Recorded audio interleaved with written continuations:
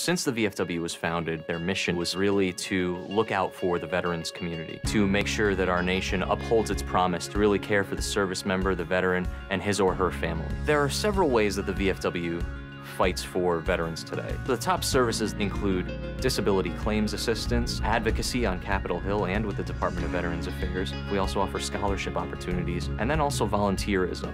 For me personally, when I came back from Iraq, my life experience was drastically different from those around me, and the veterans of foreign wars really spoke to me. The reason I would encourage veterans who have served overseas today to join the VFW is because this is your organization. The VFW is for veterans. Every generation, a new generation of leaders steps up in the veterans of foreign wars and fights for the veterans community. The Veterans of Foreign Wars. No one does more for veterans. For more information on the VFW, go to ahctv.com slash sacrifice.